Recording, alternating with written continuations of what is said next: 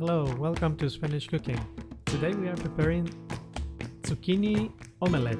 It's like the traditional Spanish omelette, but we will include not only potatoes but also onion and zucchini. So as usual, the first thing you need to do is to peel some potatoes. This time we will use less because the other ingredients are uh, zucchini and um, onion. So I normally cut them in halves and then in no, uh, once again in half and then I slice finely. It doesn't matter whether your slices are thick or thin. The important thing is that those are equal in size more or less. Then for this um, recipe I'm using like the equal amount of um, zucchini and potatoes but you can adjust it uh, as you wish and I'm doing the same thing I'm cutting in half and then in quarters and slicing the zucchini finely. This way I I like to do it quite fine quite thin because then the cooking time will be less. So you have to make sure all your ingredients are uh, cooked through especially the potatoes because if the potato is raw then it's not it's not nice.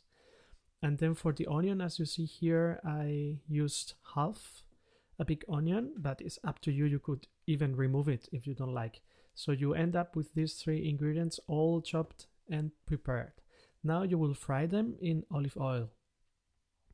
I really recommend you to use good quality olive oil because then the flavor will be much much nicer. You could use uh, vegetable oil like uh, sunflower seed oil as well but olive oil it's nicer.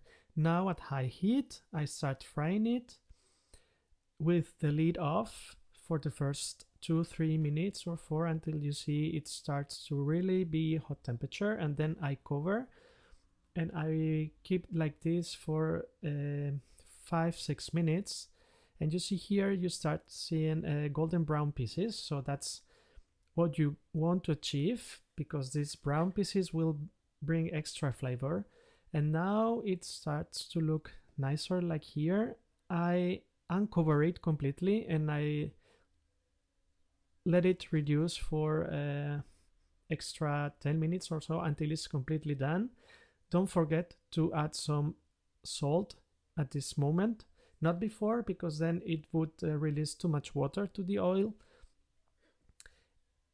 and uh, drain your ingredients. And now we will crack three eggs and beat them with a bit of salt just a pinch of salt with a fork is nice to beat it so it doesn't have to be beaten for a long time just mixed thoroughly and now you can add your um, mixture of potato, zucchini and onion. You will see here, you can drain like a second time because it will release yet more uh, oil. So um, it's nice to drain uh, as much oil as you can. Now you mix it and it's ready to the last step. Now in the very hot pan with just a drop of oil, you pour all your ingredients in and then you need to be like this continue continuously moving the pan making sure it doesn't stick until it's halfway done so it's important that your heat is not too high because then it would be burned. And flip it carefully. After five minutes or so when you see that is halfway done and pour it again in the pan and cook for uh, two or three more minutes. So this time for this side the cooking time will be less because it will be cooked through completely in two three minutes or depending on your on the thickness of your tortilla but normally it it will be more than enough and now your tortilla is ready to serve. I like to let it cool for five minutes or so.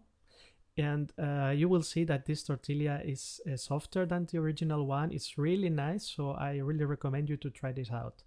And of course, don't forget to enjoy it. See you soon.